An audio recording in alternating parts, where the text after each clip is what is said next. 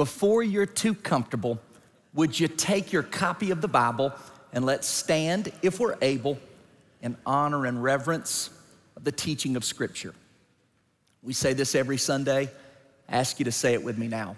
Open my eyes that I might receive wonderful words from your law. Amen. God bless you. Please be seated. Today, God willing, is the fifth and final message in our series of sermons called The Power of Forgiveness. I invite you now to turn to the first book of the New Testament, the Gospel of Matthew, where today's text is Matthew 18, verses 21 through 35. I want to talk to you today on this subject. Forgiven people are forgiving people. People who have been forgiven are the people that God is calling to extend forgiveness to others. I've been thinking about my granddad a whole lot this past week. He passed away last Memorial Day weekend at age 89. Had he lived to this past week, he would have reached his 90th birthday. I was his oldest grandson. He was not a pastor, to say the least. He was a proud United States Marine and a small business owner and a farmer his whole life. Literally born on a farm, died on a farm. One thing I'm certain I got from him is my love of golf. Though he grew up in poverty as a sharecropper's son, when he joined the Marine Corps, someone introduced him to golf. And he became really, really good as an amateur golf, golfer for the United States Marines. My dad's never played golf, doesn't care to. But because I saw my grandfather playing, I became interested. I remember being a little boy in Jenkinsburg, Georgia, when I would stay with them on spring break or in the summer. He'd go out in one corner of his pasture with a whole bag of balls and with whatever club he wanted, he would just hit them any direction he wanted across the pasture. I remember standing there watching him. He'd say, Watch this one, son. It's gonna go from left to right. It's called a fade. Watch this one, son. It's gonna go right to left. It's called a draw. You wanna hit one? Yeah, Paul. Paul. And I remember I would get up there with his clubs and, oh, not even close.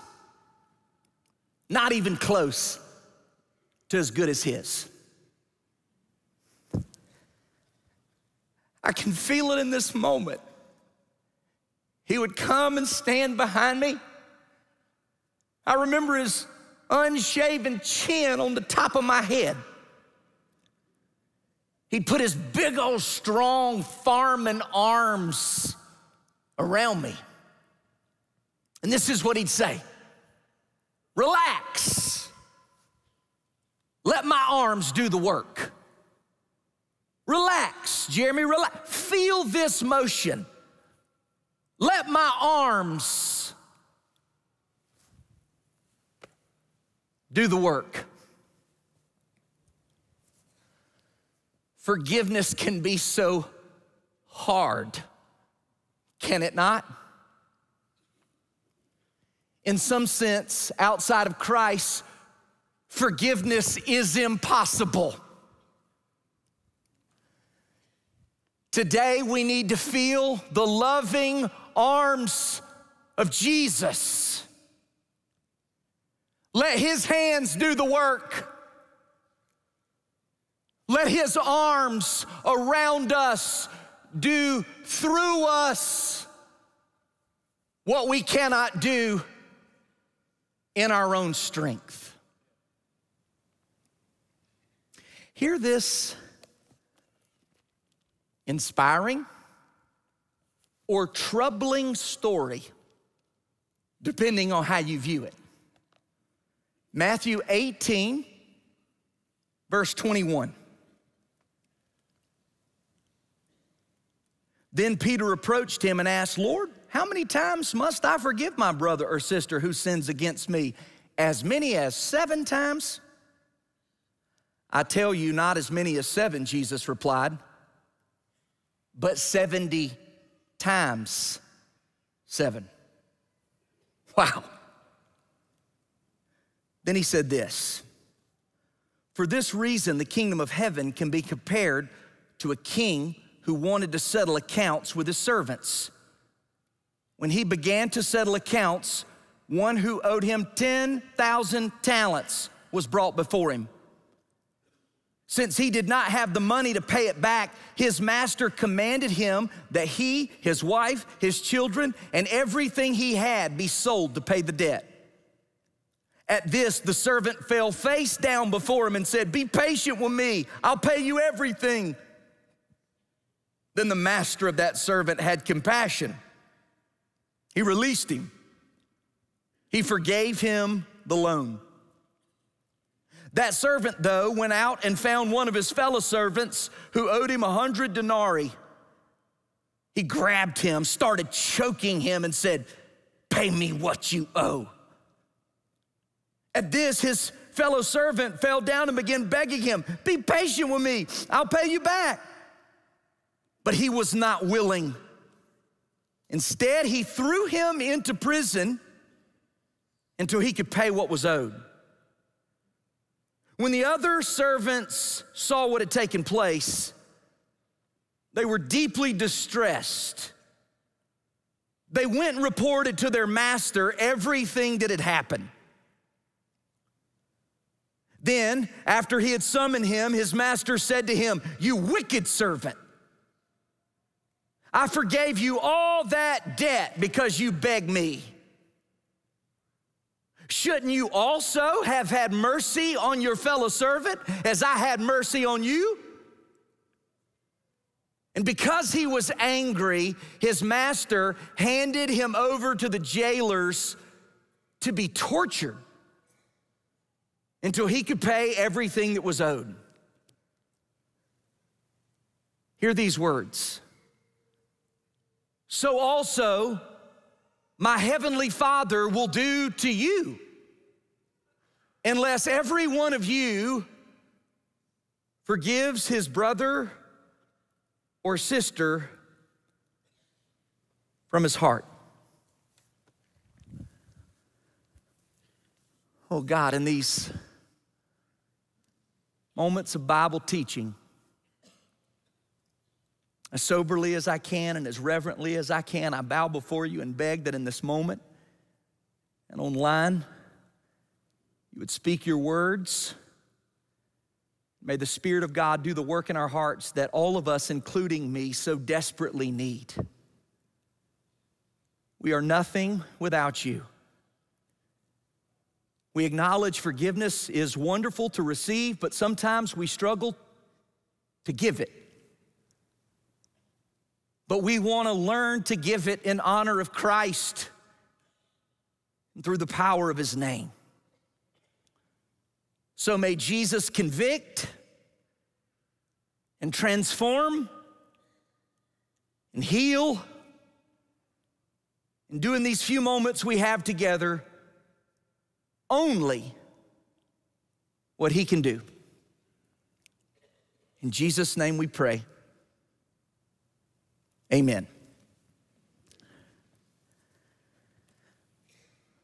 Before we walk through the text, let me make three introductory statements. This is true for all of us.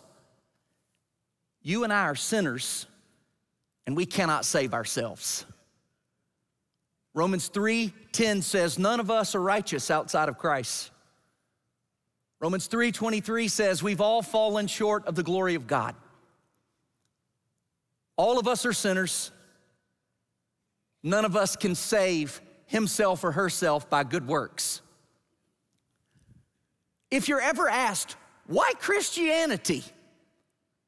Unashamedly and graciously say this because Christianity is the only religion in the world that is the story of God reaching for the people instead of the people reaching for God.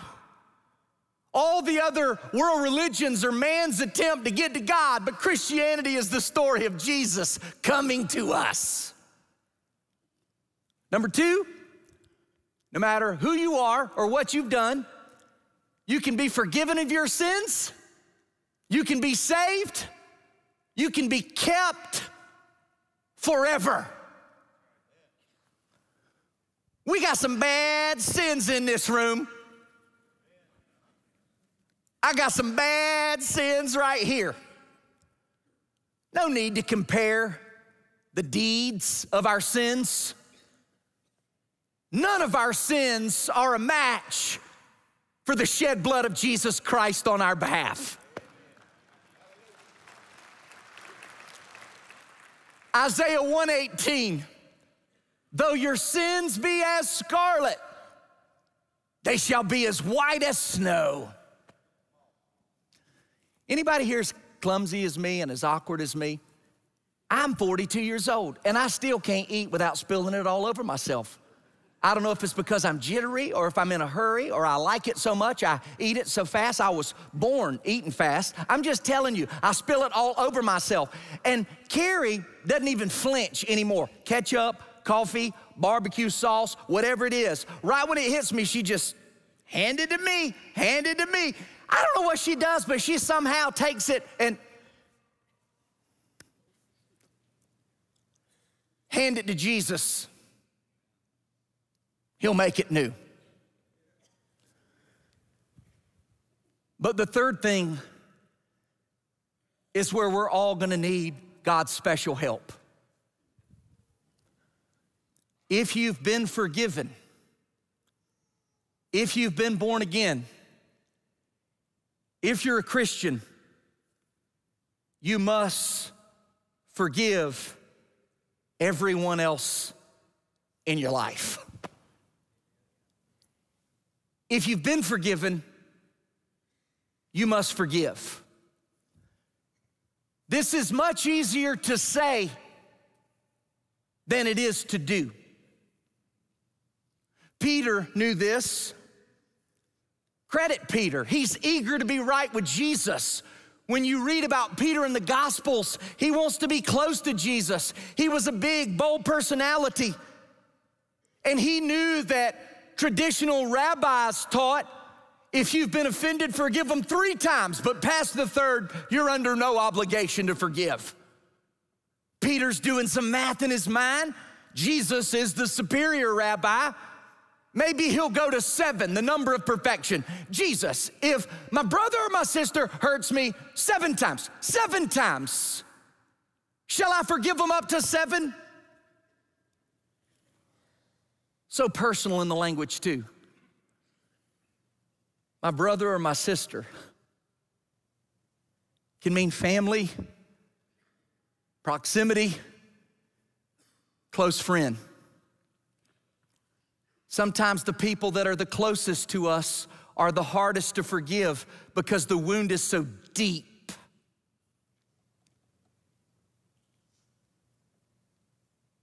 Jesus says this it's not about math, Peter. 70 times seven. Some have said, was he saying 77? Is he saying 490? I promise you, Jesus' point wasn't that we carry around little pocket folders and, oh, forgiveness, I'm tallying them up. No, 1 Corinthians 13, 5 says, love doesn't keep a record of wrongdoing. Jesus' point is that if you are mine, if you are following me, if you are like me, you will forgive fully and completely. And then he tells a remarkable story.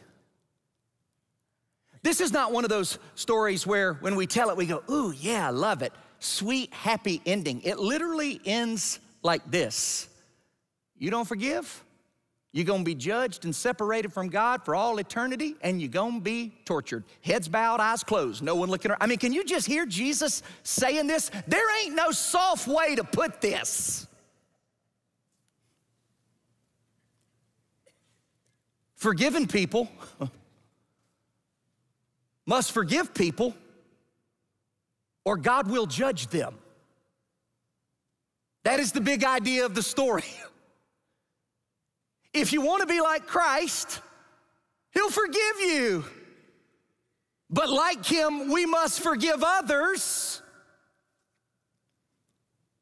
or He will judge us.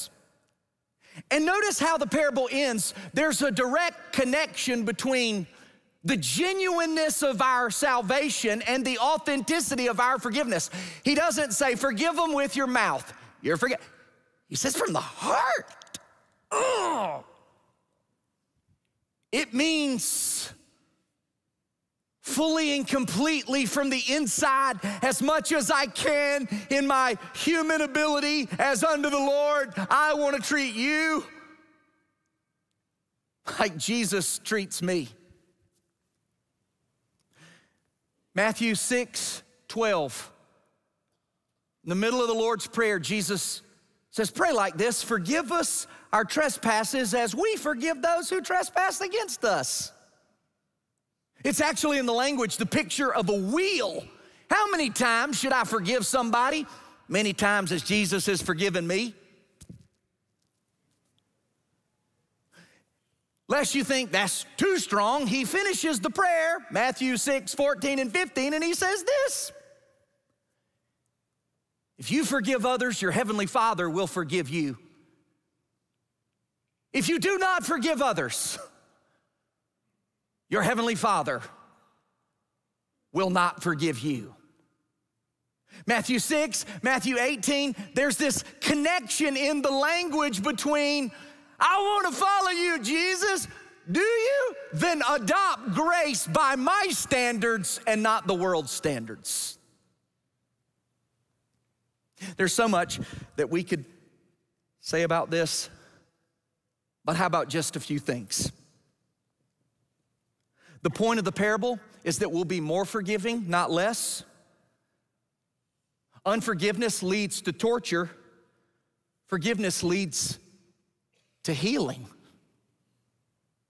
What a shame that the man who was forgiven in our day and time millions, he was forgiven millions, and his servant owed him a hundred, but he said, Absolutely not. You pay me, I'm gonna punish you. What? And the owner, the king, says, This is injustice. You must be tortured.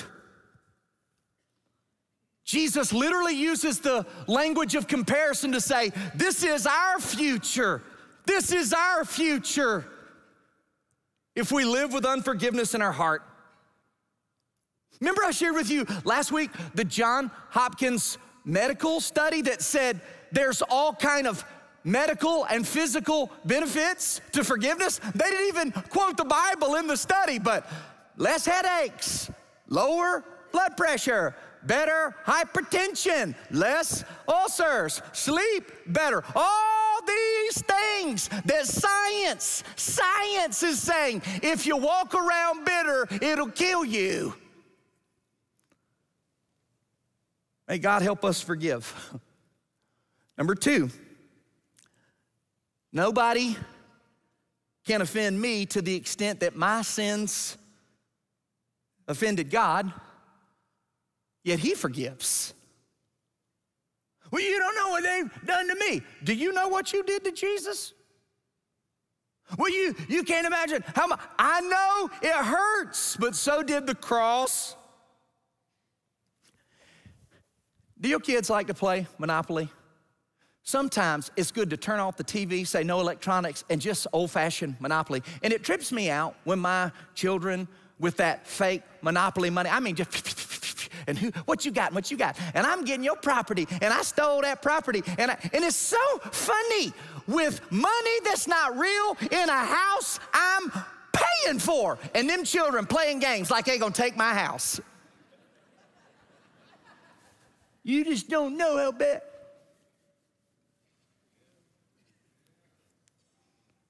Money that ain't yours, in a world that ain't yours.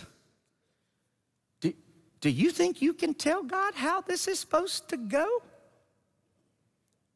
You know, when it's me, I say, I, am not perfect, nobody is. I hope for mercy. But when it's you, justice, we need justice. You ever notice that? When it's me, nobody's perfect. That is the understatement of the universe. Ain't nobody at the church perfect. Oh, not only that, they're all, you know. How much?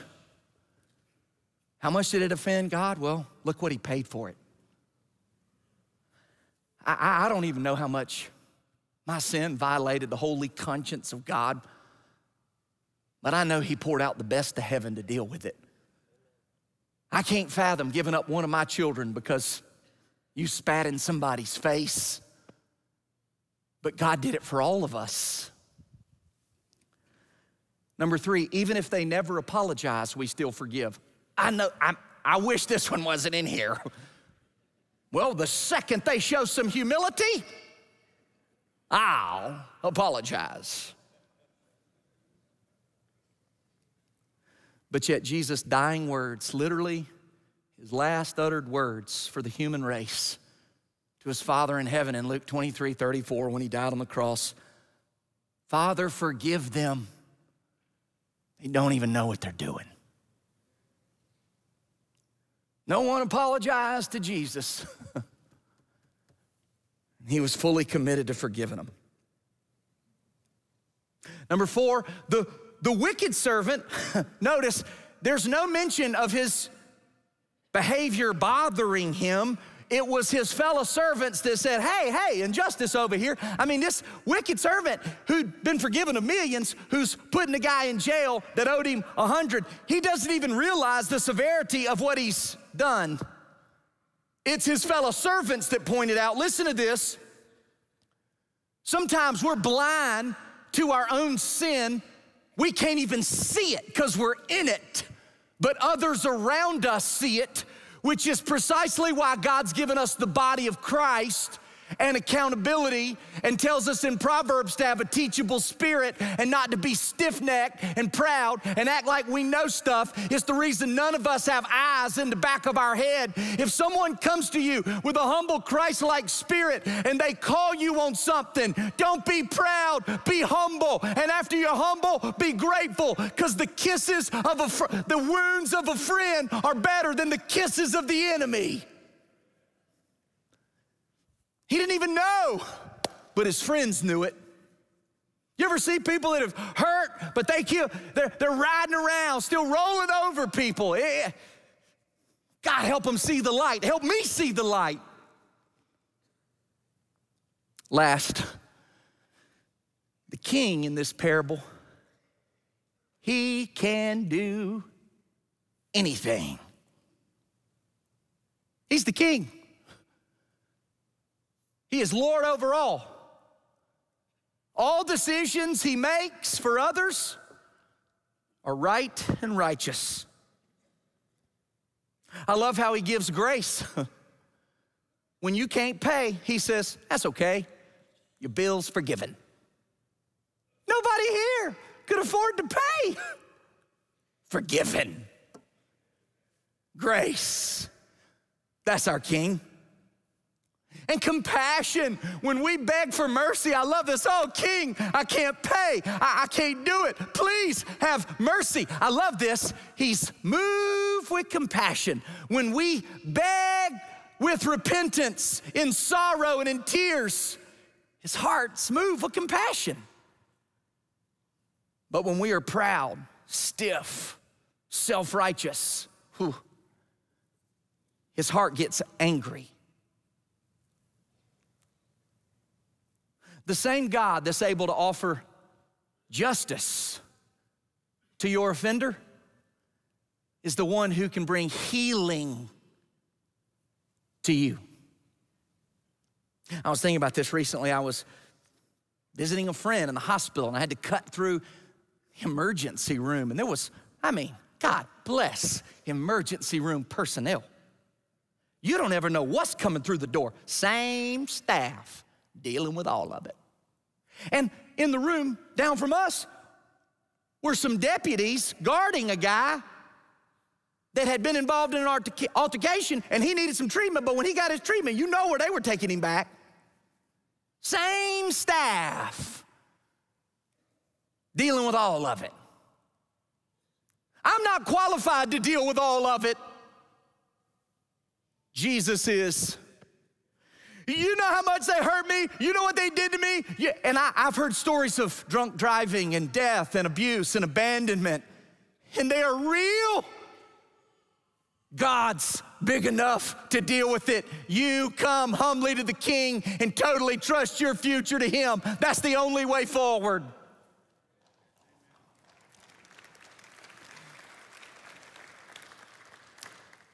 I wrote this in my notes and I'm just going to share it with you as we close.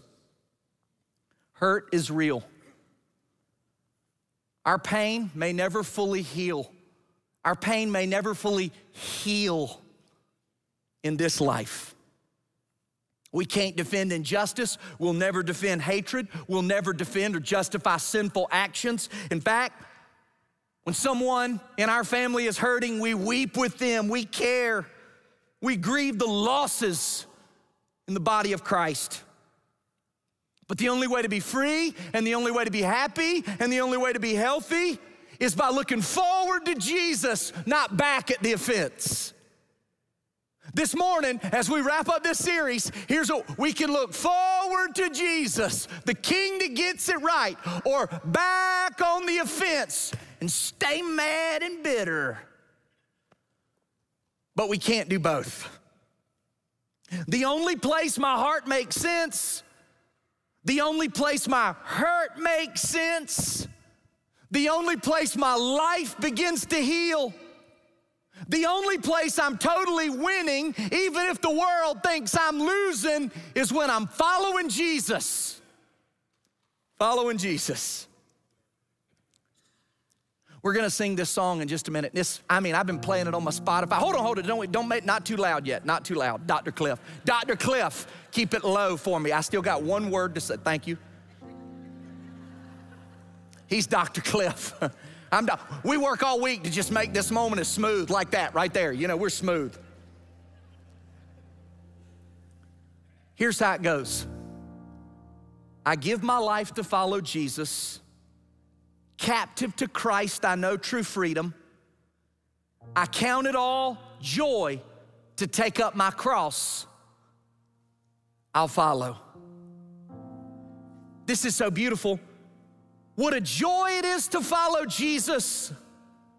What a gift to bear his name. What an honor to choose surrender. Make him my everything. So this morning, while Dr. Cliff and April lead us, I really feel there's two groups of people that should consider coming to the altar, and I'm gonna pray over us. That's it. I'm gonna pray over us. I've been on both sides of what I'm about to share. I'm gonna pray for God's healing grace. I think people should come this morning and just be right here at the altar.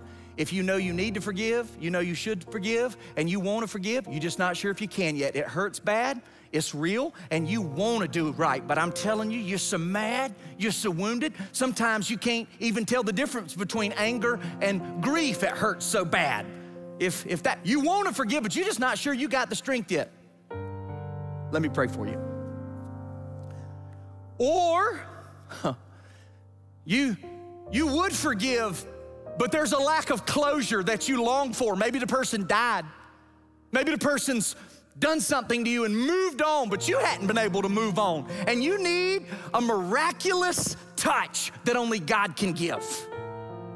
Uh, maybe it was something that it'll never come back on this earth like it once was. God can give me a touch that sustains me. Whoever needs to respond, I'm gonna pray. And the second Cliff and April start singing, you worship with them. And if you need to come, I'm gonna lead a prayer at the altar. Hey, you need to make a decision for Jesus, join the church. We got our altar team close by. God, may we say yes to you, whatever it is. Speak, Jesus, as only you can. Move in our hearts in Christ's name.